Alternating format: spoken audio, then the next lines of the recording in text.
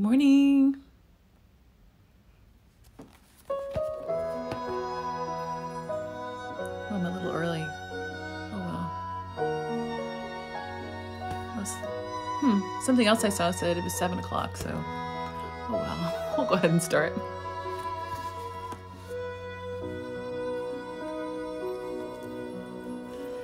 My soul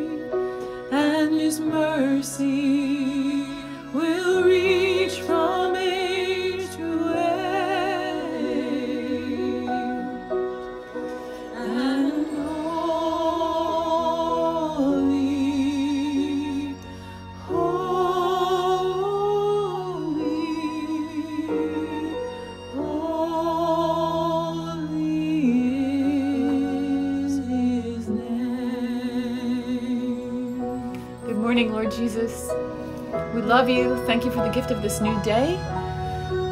Lord, we ask you for the gift of peace.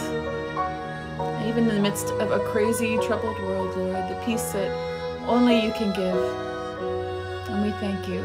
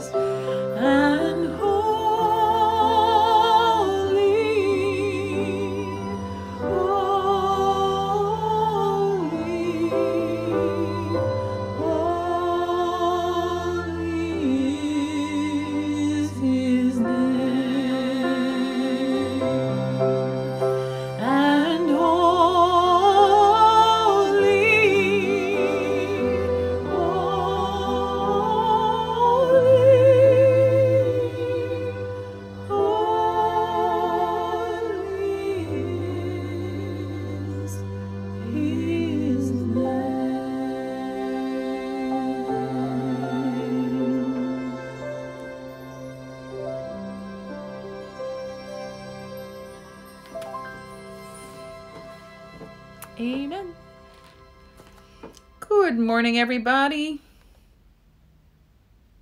Hope you're all having a great day so far, or maybe you're just still in bed. I won't tell. I'm a little jealous.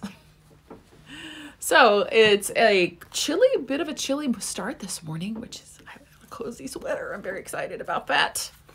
So if you um, we're still only at 48. I'm going to give people a little more more time to jump on. So I hope you're all doing well. I know I had some friends who had some damage in the storm, um, especially those who have houses on the Gulf Coast in Mississippi. So I'm so sorry. That's kind of the price of living on the Gulf Coast, right? I always ask, like, what were my ancestors thinking of coming here all those generations ago to the swamp? But here we are. And God is good. So we are picking up again today, Searching for and Maintaining Peace by Father Jacques Philippe. We're on page 58.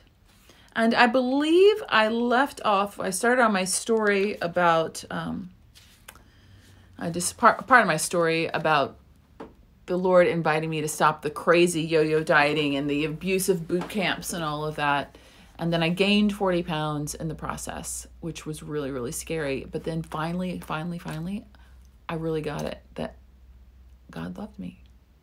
And that's all I really needed. And that's really the truth. Uh, it's so hard for us sometimes to interiorize that God really loves us as we are. We don't have to perform for that love. We don't have to be a certain size for that love. He doesn't care. No, He just loves us and He wants us to receive that love now. Now. And not when we get to some perfect place. That's not how God's love works. That might be how human love works sometimes, but not how His love works. And so I want to respond actually to, um, while we're waiting for people to jump on, I don't remember who it was, forgive me, but someone sent me a message on Instagram and said they were confused because I said that the Lord was inviting me to stop the crazy yo yo dieting. And then um, He invited me to let my only bread be His body and my only wine be his precious blood. So, carbs and alcohol, those have been sort of the two things that I would use um, just emotional eating, right? It was an old, old, hard groove habit in my brain. And so, like the first 10 pounds, so that I did that. And so, like the first 10 pounds, I lost just by not eating the bread, the sugar, and the alcohol. And, um, and then a friend of mine told me about Optavia. So, I did it. That is a diet, and so she said that she had done Optavia and then was gaining the weight back. So for me, I think what the difference was um, was that one, I wasn't super rigid about it, and it was just a tool for me to help take care of my body because, but to, I did it gently, and I needed to learn temperance and how to fix meals that were really healthy so those were the that was the virtue I was working on was temperance, and I thought of it more of as a, as a spiritual fast. So I was offering up my hunger each day for particular intentions, but that may like be the kind of thing that really hangs up people, because you know most diets in the long run do fail, and I I know that for a fact because I've done them all, just about all of them, and for me, though, it was just growing in the virtue of temperance and um, spiritual fasting. So that was the difference for me. It was not abusive. It wasn't um, because I needed the, to try and manipulate people into loving me. So that is where the freedom really came for for me. And so I still occasionally use the food from Optavia um, if I, because I'm always going to have until I'm like fully healed and completely virtuous, a temptation to overindulge. And it makes me feel bad. And my clothes don't fit. And um, so it's it's complicated. but again, it's the difference of a diet mentality um, versus growing in temperance. And so, but there is a beautiful website called um, findingbalance.com that's very, be totally opposed to Optavia. It would totally opposed to really any diets. Um, because there can be so much extra stuff wrapped up in that old woundedness, addictions, self harming behavior, and so, and shame. So it's called findingbalance.com. And so for those of you who have been yo yo dieters your whole life and you're trying to get out off of that and like just actually enter into the rest of the Lord and learn how to cultivate temperance and to care for the temple and bless the temple that is our body, then finding balance I find is really good. And I get a little daily e- email from them every day. Okay. But they don't really go into fasting or spiritual fasting because that is a trigger for so many people, especially if you struggled with anorexia. Fasting is not good if you have struggled with anorexia. It is a trigger and can get you back into anorexia. So you look for other ways other ways to offer make of your bodies a living sacrifice maybe it's by serving others okay back to searching for and maintaining peace. But I thought that was an important point to make. And I'm glad to see so many more people back today. I'm guessing you didn't have power yesterday. So the video recording from yesterday is available, and um, I'm glad to see you, and I hope you're all doing okay. All right, so I believe we were at the top of page 58. I'm just going to start, go back to the bottom of page 57. God acts in the peace of one's soul. It is not by our own efforts that we succeed in liberating ourselves from sin. It is only the grace of God which attains this end. Only the grace of God. Rather than troubling ourselves, it's more efficacious to regain our peace when we fall, we stumble. We, once again, we did the same thing we promised we wouldn't do anymore. It's more efficacious to regain our peace and let God act. The second reason is that this is more pleasing to God. What is more pleasing to God? It is when, after experiencing a failure, we are discouraged and tormented, or when we react by saying, Lord, I ask your pardon. I have sinned again. This, alas, is what I am capable of doing on my own. But I abandon myself with confidence to your mercy and your pardon. I thank you for not allowing me to sin even more grievously.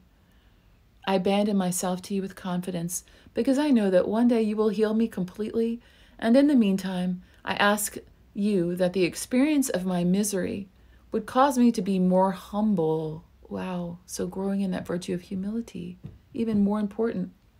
Goodbye. I love you. Oh my gosh, she's dressed. I can't even tell you. Mm-mm. She's wearing a costume today. It's scary. Though she says it really shouldn't be scary. Okay, can I just tell y'all? My child is dressed as a plague doctor. Because She's like, Mom, they came to bring healing to people. And I'm like, mm. yeah, it's quite a costume. Okay. I abandon myself to you with confidence because I know that one day you will heal me completely. And in the meantime, I ask you that the experience of my misery would cause me to be more humble, more considerate of others, more conscious that I can do nothing by myself, but that I must rely solely on your love and your mercy. The response is clear. The third reason is that the trouble, the sadness, and the discouragement that we feel regarding our failures and our faults are rarely pure. They are not very often the simple pain of having offended God. They are in good part mixed with pride. We are not sad and discouraged so much because God was offended, but because the ideal image that we have of ourselves has been brutally shaken. Our pain is very often that of wounded pride. Whoa. So, why do people resist going to confession? Pride. Pride alone. But that gift of compunction of heart, where it's like real true sorrow for wounding the one who has loved you so tenderly, so madly, standing with you, always with you, just waiting for a glance from you. You know, sorrow for wounding that one, that Jesus who loves you so much. That's compunction of heart, and that is a grace from God. But usually, the pain when we go to confession is our wounded bride. So we ask for that grace of true compunction, true sorrow for wounding him who loved us, has loved us, and loves us so much. This excessive pain is actually a sign that we have put our trust in ourselves, in our own strength, and not in God. Listen to Dom Lorenzo Scupoli. That's a fun name. Lorenzo Scupoli, whom we have already cited. A presumptuous man believes with certainty that he has acquired a distrust of himself and confidence in God, which are the foundations of the spiritual life, and therefore that which one must make an effort to acquire. But this is an error that we never recognize better than when we've just experienced a failure. Because then, if one is troubled by it, if one feels afflicted by it, if it causes one to lose all hope of making new progress in virtue, this is a sign that one has placed all his confidence not in God, but in himself. And the greater the sadness and despair, the more one must judge himself guilty. Hmm. But let's not despair about that. Because he who mistrusts himself greatly and who puts great confidence in God, if he commits some fault, is hardly surprised. He's neither disturbed nor chagrined because he clearly sees sees clearly that this is the result of his weakness and the little care he took to establish his confidence in God. His failure, on the contrary, teaches him to distrust even more his own strength and to put even greater trust in the help of him who alone has power. He detests above all his sin. He condemns the passion or vicious habit which was the cause. He conceives a sharp pain for having offended his God. But his pain is always subdued and does not prevent him from returning to his primary occupations to bear with his fam- familiar trials and to battle until death with his cruel enemies. It is again a very common illusion to attribute to a feeling of virtue this fear and trouble that one experiences after a sin. Because though the uneasiness that follows the sin is always accompanied by some pain, still it does not proceed only from a source of pride or from a secret presumption caused by too great a confidence in one's own strength.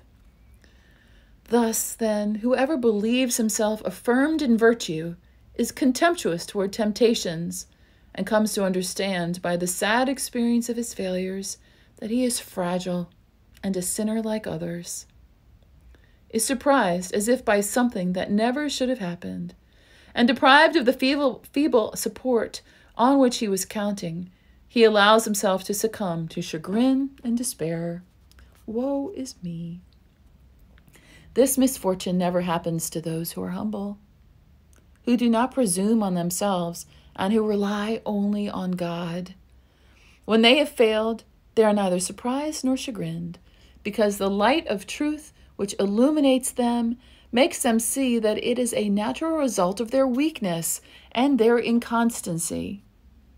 So, that's from The Spiritual Combat and a Treatise on Peace of Soul by William Lester and Robert Mohan.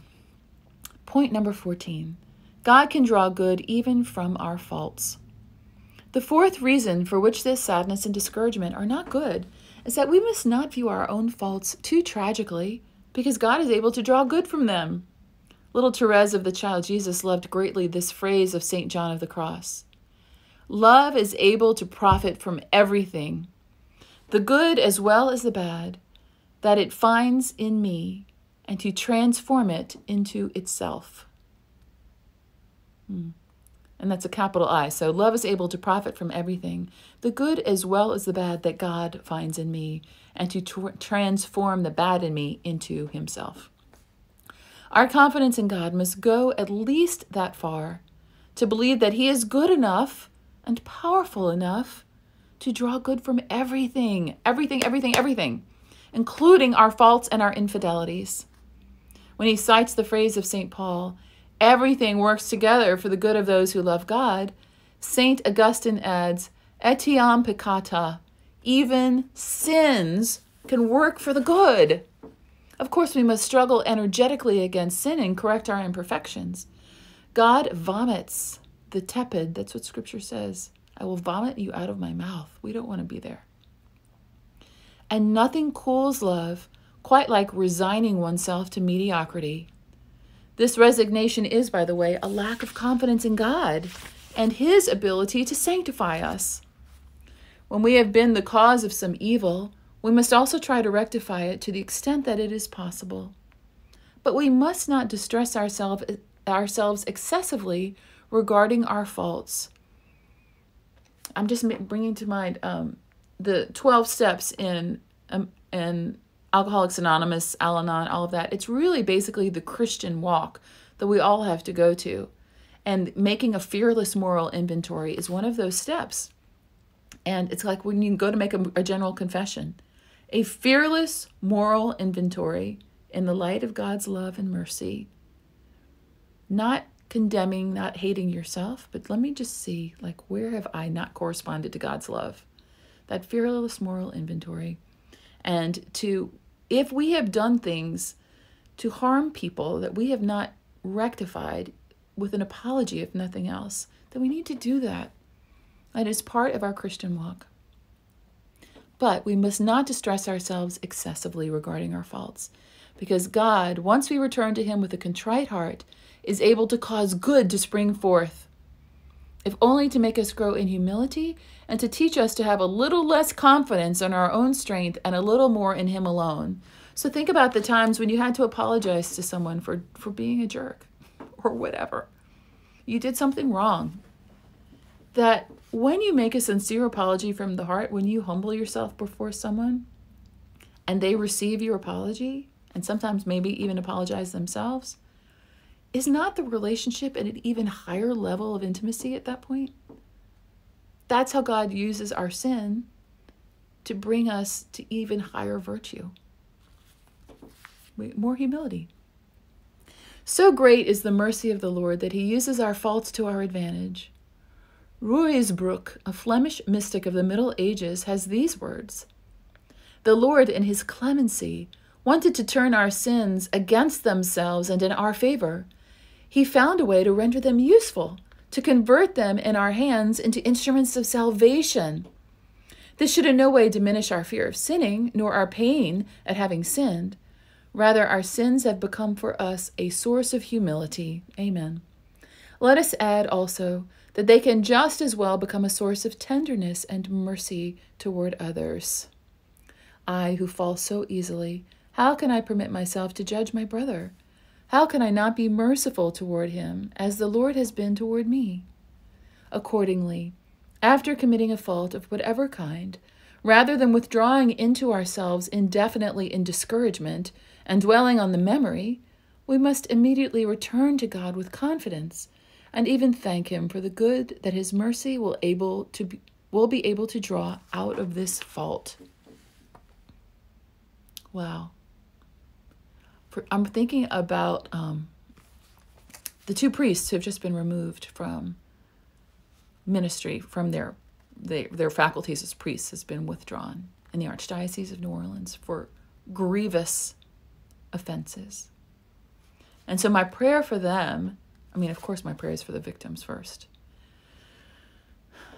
But my prayer for them is that they not despair of God's mercy. And I'm just thinking, like, what would what would this one particular priest, what would he be thinking if he were to read this? Because is there a greater sin or scandal?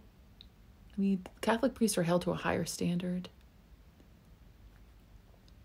And how many people like just want to leave the faith.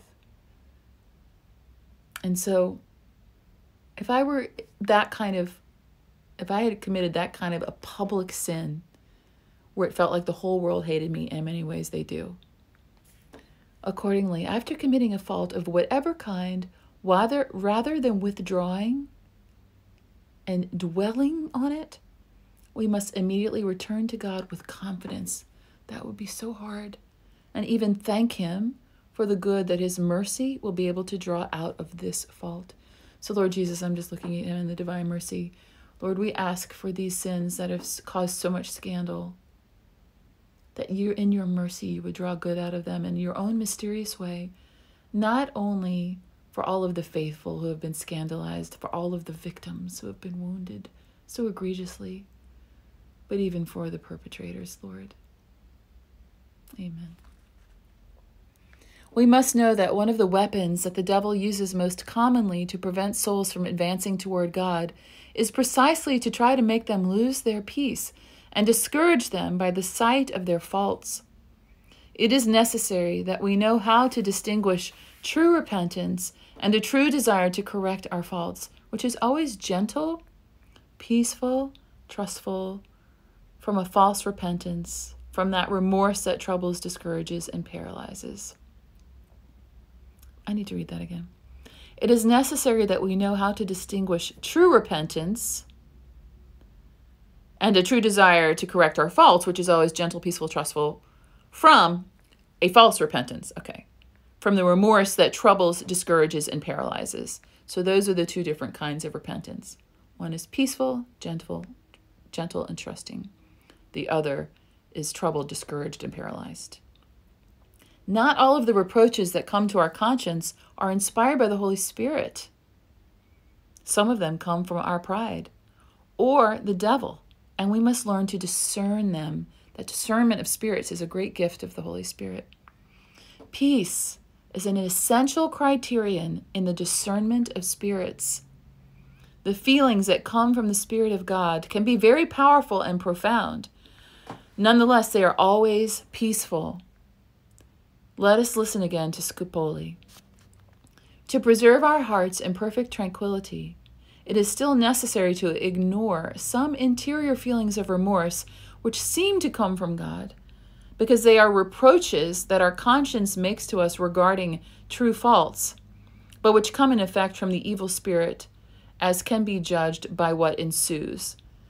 If the twinges of conscience serve to make us more humble, if they tender us, uh, sorry, render us more fervent in the practice of good works, if they do not diminish the trust that one must have in divine mercy, we must accept them with thanksgiving as favors from heaven. But if they trouble us, if they dishearten us, if they render us lazy, timid, slow to perform our duties. We must believe that these are suggestions of the enemy and do things in a normal way, not deigning to listen to them. And he has that bolded. Let us understand this, says Father Jacques Philippe. For the person of goodwill, that which is serious in sin is not so much the fault in itself as the despondency into which it places him. He who falls but immediately gets up has not lost much. He has rather gained in humility and in the experience of mercy. He who remains sad and defeated loses much more. The sign of spiritual progress is not so much never falling as it is in being able to lift oneself up quickly after one falls. Okay, 724, perfect time to end. We'll pick up with point 15 tomorrow. So we don't have a whole lot left. I'm guessing maybe another week in this book and then we'll be done.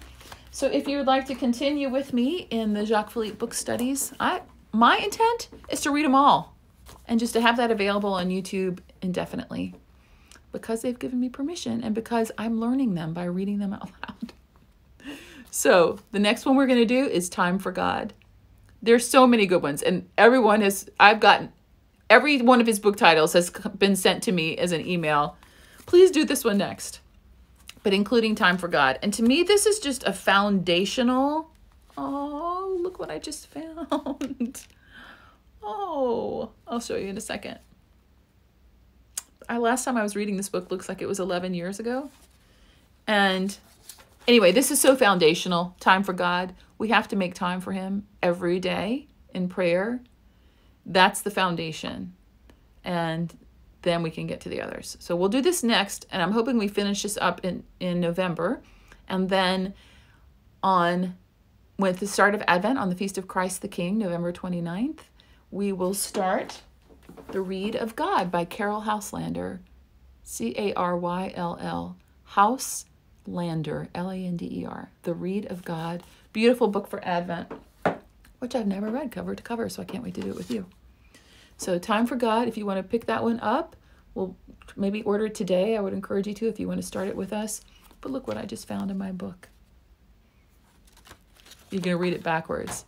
But a little note from Ceci, and it says, God good is a good God. He is God. Is, and then hearts. God, oh, God is hearts and hearts and hearts and hearts. So God is love. Ceci Age 5, Our Lady of the Lake Adoration Chapel, August 5th, 2009. He is a good God. I love that that was a little present for me in my book. So it's been a long time since I've read it, and it's time for me time for me to read time for God. But wow, look at like all the notes that I wrote in here and the underlines and the stars. It's so good. All right, so we'll do that next. Um, okay, I am going to end us in a song and then I'm going to go sing for Mass again. Um, prayer, prayer for Robert Simpson. Um, he is in probably in surgery right now. Robert is a dear friend, father of five young kids, has pancreatic cancer. Robert's in his early 40s. His aunt, his wife Anne is a, the music director at St. Peter. So I'm going to go um, stand in for her for Mass today at 8.30 at St. Peter's if anybody wants to join me. Yesterday, by the way, there was no electricity in Covington and much of Covington, and so mass was by candlelight. It was so beautiful. It was really beautiful. We had no microphones, nothing, so that opera training really helped project. Anyway, so I'm going to offer my mass for um, for Robert and just ask that you keep in your prayers. It's hard. Okay. So, um, hmm, I think for Robert, I'm just going to play I Place My Trust in You. This is from my Divine Mercy CD, The Miracle of Divine Mercy, written by Precious Kara Klein for her brother when he was dying. Here we go. I'm going to read your comments.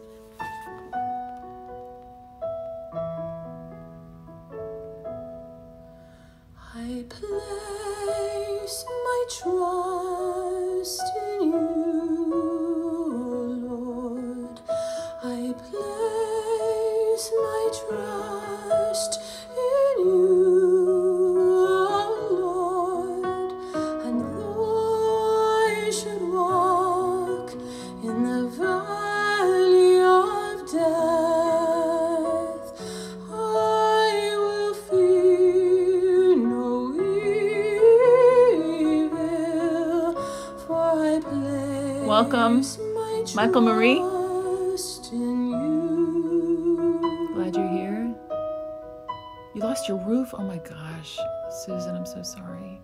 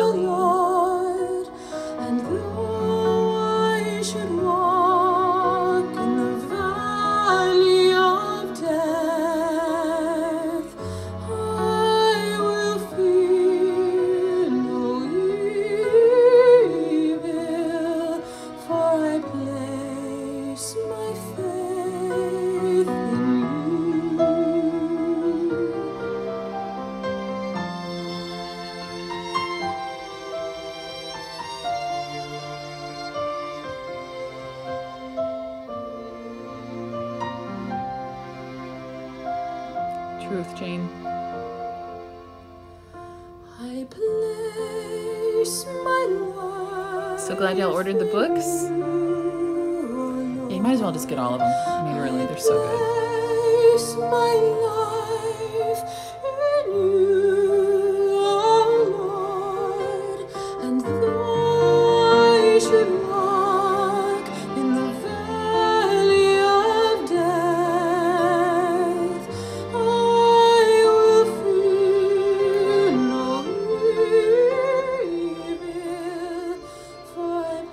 Book study. Yeah, no book study on the weekends.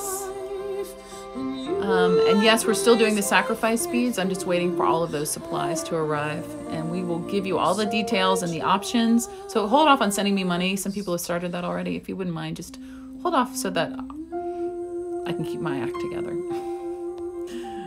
Because I'm not really set up for that yet. Uh, Maureen just said that Barbara's funeral is this morning. Barbara, who prayed um, the 33 days with us. May she rest in peace. And thank you for all the prayers for Robert. Sorry about the glitches with the reception. I'm guessing that's just because of the hurricane. It happened with YouTube during the rosary. So if that happens again, if the video freezes, I'm told that if you go out of the app and come back in, whether it's YouTube or Instagram, that the video will come back up. I didn't have any pauses on my end, so I'm hoping that when I post it, it will be there without the pauses. Thank you for your prayers for Robert. So glad, Adrian, your kids like my music. Yay. All right. For all of your prayer intentions. Thank you, Eileen. Okay, great. So, um, wonderful Christmas present idea, right? Is the books of Father Jacques Philippe. All right, have a great day. I will see you tomorrow, and I'm headed to Mass if you want to join me. St. Peter's in Covington, 8.30. Much love.